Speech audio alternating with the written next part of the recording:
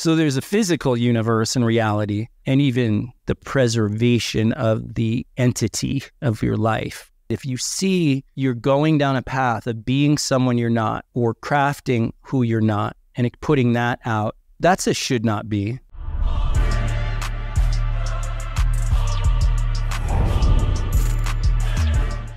Social media, you tell them your authentic stories, you tell them all your business and all your dirty laundry to get likes. Like, why are you telling the world this? There's something doesn't smell right about it.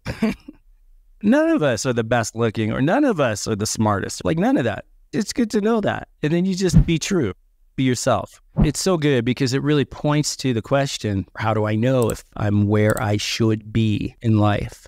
Be right here with this step.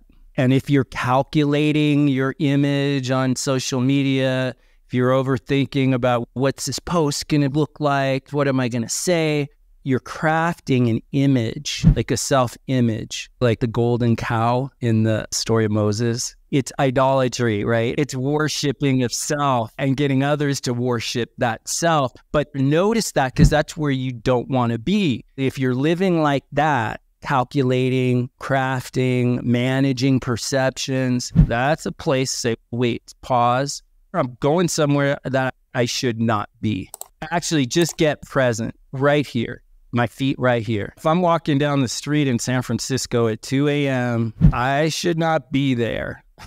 so there's a physical universe and reality, and even the preservation of the entity of your life. There's danger or threat, but then there's the ego side. If you see you're going down a path of being someone you're not or crafting who you're not and putting that out, that's a should not be. We know that before anyone else knows it. We know if we pause, get present, wake up, kind of know, wait, I'm not being true right here. Why? Because I want people to like me, or I don't want to look foolish, or I don't want to look stupid, or I want to look good. I want to look like I have it all together, or I want to look like the Joneses. But what y'all want to remember is the Joneses are very screwed up people. Nothing is as it seems. And with this biblical quote of do not conform to the patterns of this world, but be transformed by the renewing of your mind from within. And these kind of conversations, I think, support that transformation from within